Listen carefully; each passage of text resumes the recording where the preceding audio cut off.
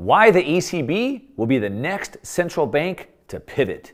Now, everyone's talking about the Federal Reserve, and when will they pivot? Meaning, when will they reverse their hawkish tightening stance that they've taken on to tackle inflation, which has absolutely crushed the stock markets, the bond markets, the cryptocurrency markets, real estate markets, the economy?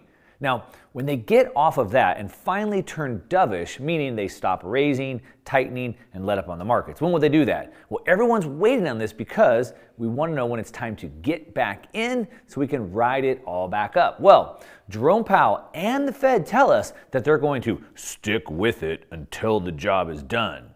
The job being bringing inflation back down. But while they may be committed to that, Mr. Market has other plans. And we can already see other central banks realizing it's not up to them, but the market and the situations they have gotten themselves into. So in this video, I'm going to break down which central bank blinked first. Hint, it's, it's the Bank of England, but you already know that. I'm going to show you what other central banks are now pivoting, why the ECB looks like it will be next, and, and the Fed will be coming shortly after. I'm going to show you what the end game ultimately is and how we should be positioning ourselves as all of this makes the final rotation. So let's go. All right, welcome back. If you're new to the channel, my name is Mark Moss, and I am trying to take these complex subjects and make them easy to understand because I get it. Like it's difficult, you don't understand what's going on, and you're scared that if you don't get it right, it could be bad. And you're right, it is. If you don't get this right, it could be bad. But don't worry, I got your back, and we are going to make this together. It's gonna be okay as long as we play this correctly. All right, so the UK blinked first. You already know this, right? We've already been talking about this.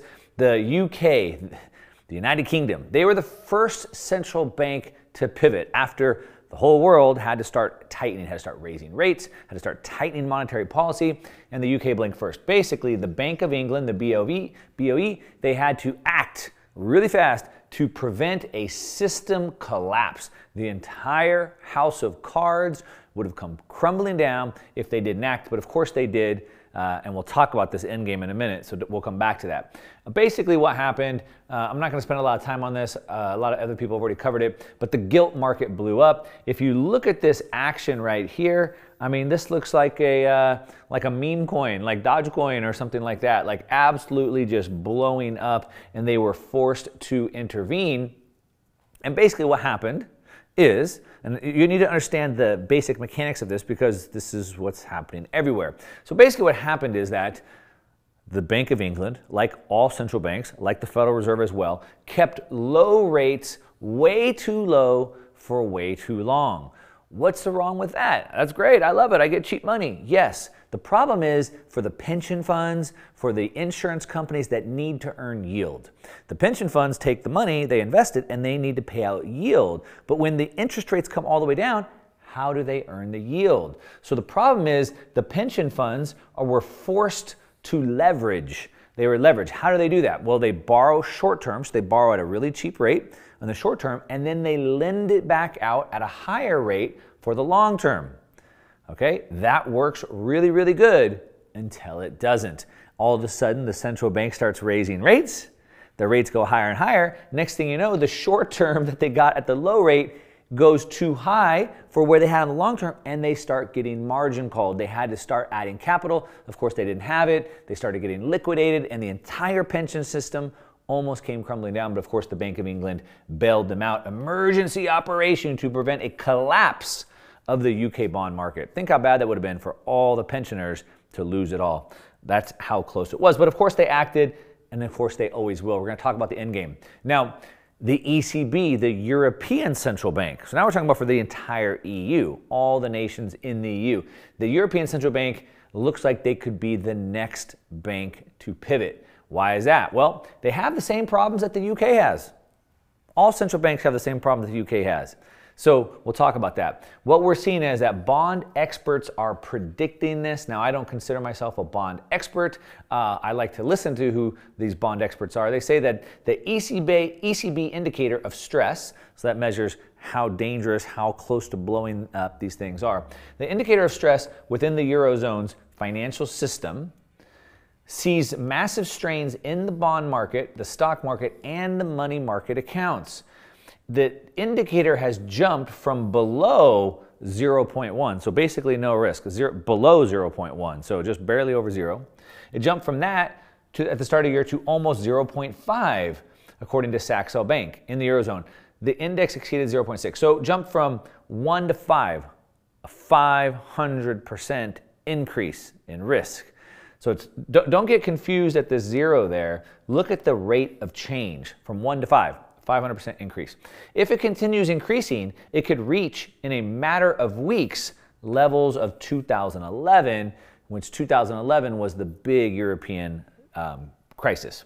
All right, the peak of the European sovereign debt crisis. All right, so it could reach that level within a couple weeks if something doesn't happen, like what? Like the ECB pivoting before something bad happens. You can see markets could break, as they say. The Eurozone's on the brink of financial meltdown as inflation surges, unless the ECB pivots, unless they blink next. Now, it's going to keep piling up higher and higher and higher. I believe that the Fed will follow this eventually. Eventually.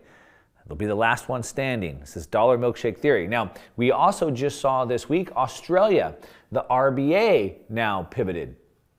We can see that in the headlines. What does a pivot look like? Well, here's Australia's central bank framed a dovish surprise. Remember, hawkish is harsh, restrictive. Dovish is soft and easy. So uh, here, the Australia Central Bank showed us what that looks like. We can see another headline right here.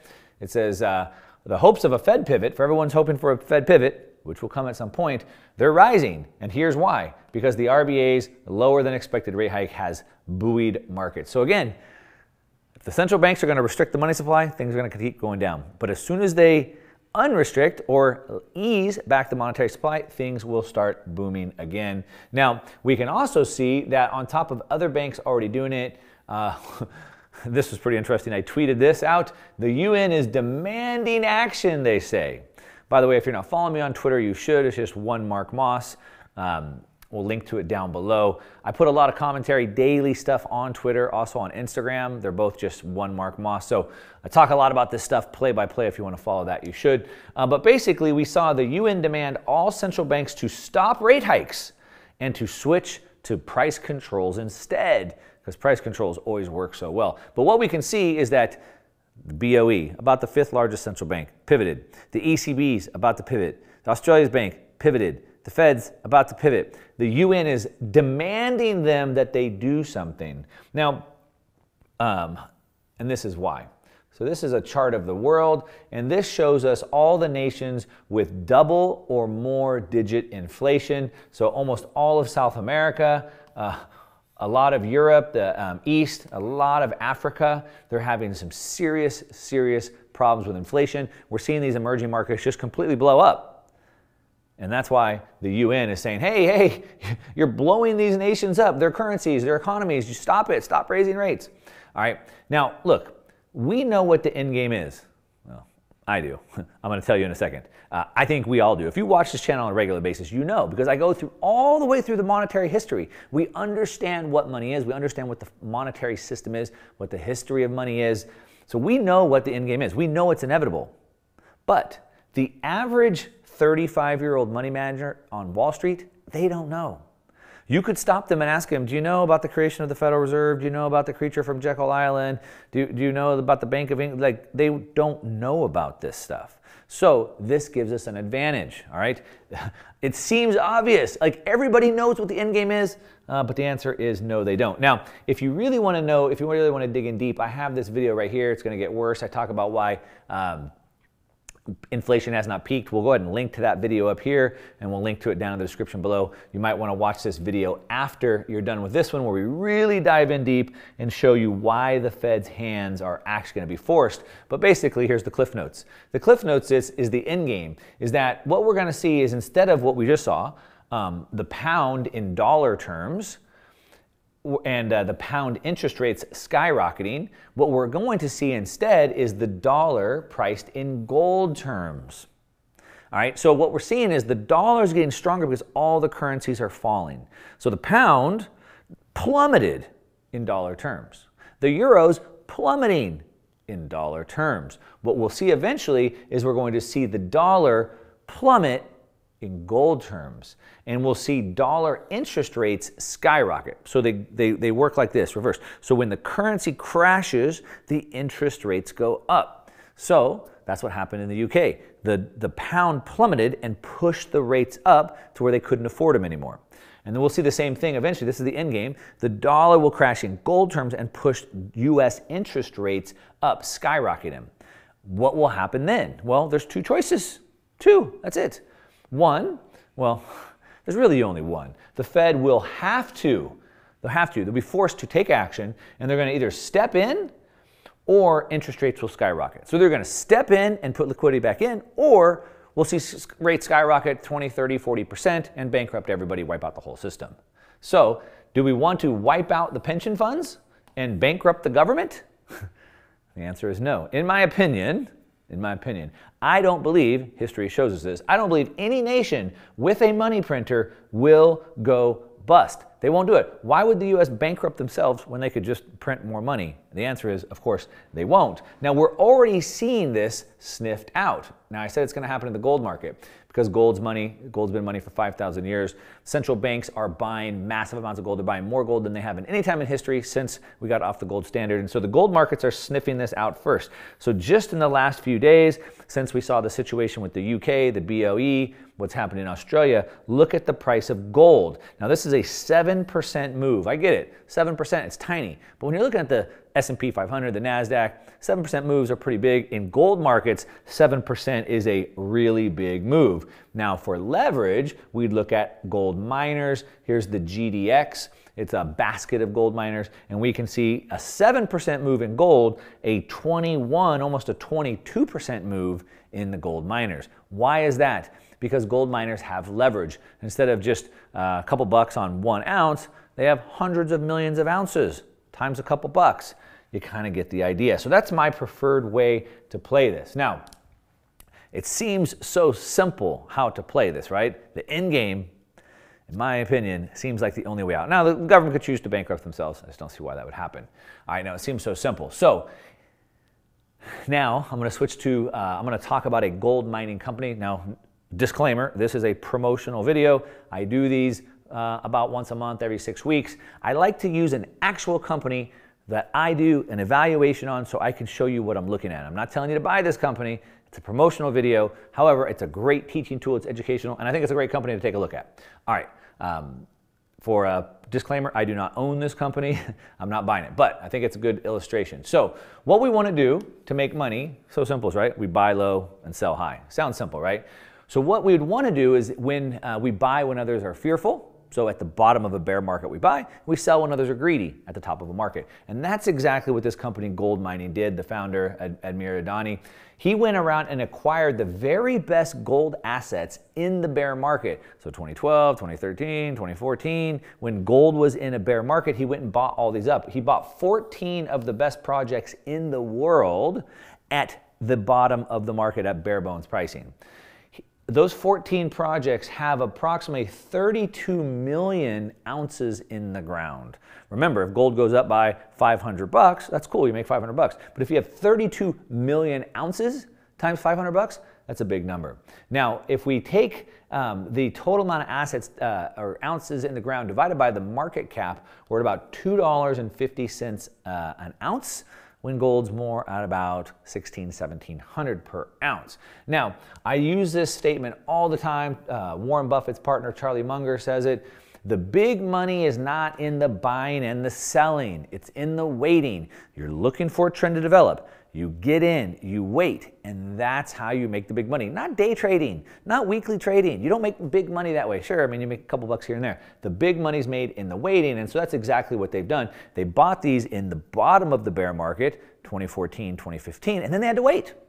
They had to wait for the trend to turn, which is happening right now. So let's take a look at that. All right, so after sitting on these and waiting, and now the tide is turning, we can see the price of gold is pumping. We see physical golds are being uh, liquidated or, or there's shortage of physicals everywhere. And now it's time to take action. So uh, gold mining has brought on a new CEO, Alastair Still. He is the CEO from Newmont Mining. You might recognize that name. It is the largest gold mining company in the world. Uh, they merged with Barrick Gold, which you might remember Warren Buffett, who hates gold, actually bought a gold mining company. It was Barrick.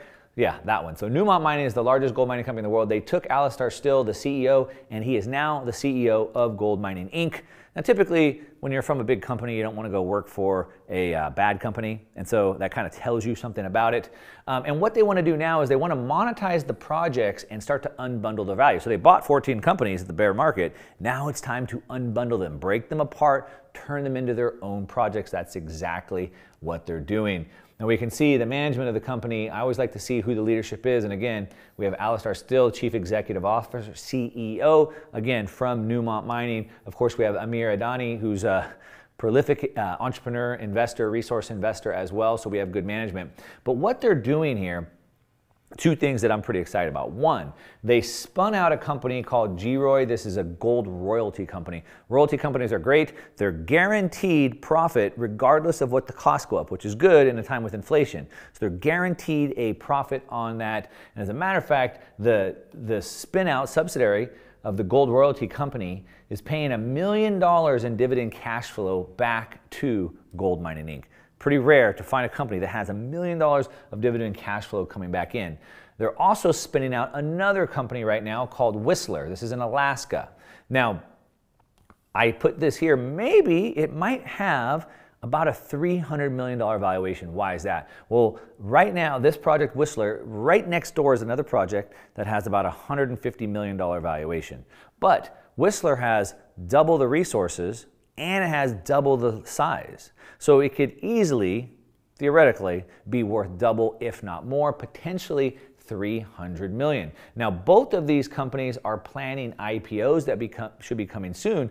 Now, gold mining only has about $125 million market cap. If it can spin out a company that's worth 300 million, imagine what that does to the company. We're going to break down the numbers here in a second, but what you can see, these are plans to unlock uh, value. So here, the creation of the gold royalty, um, it's $100 million in value right there. They modernized, updated their mineral resource um, estimates, so now we see how much uh, gold they have. Uh, they strengthened their technical teams. They've added more team. They've started drilling now, so they're actually getting that out. Uh, they created the gold mining. Um, they moved it up to an NYSE stock. So they've doing, done a lot of work there.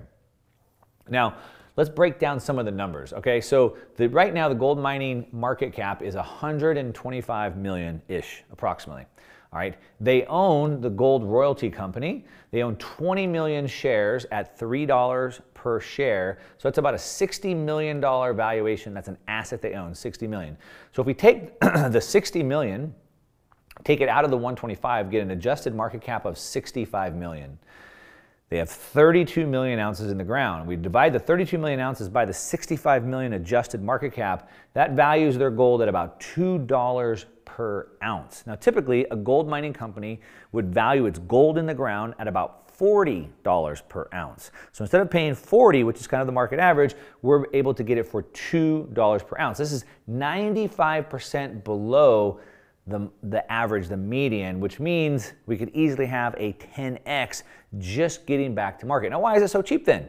Because the entire gold market cap is, has gotten smashed down. It's just turning right now. In addition, they bought all these assets at the bottom of the bear market and they're just now starting to unbundle them and break them apart.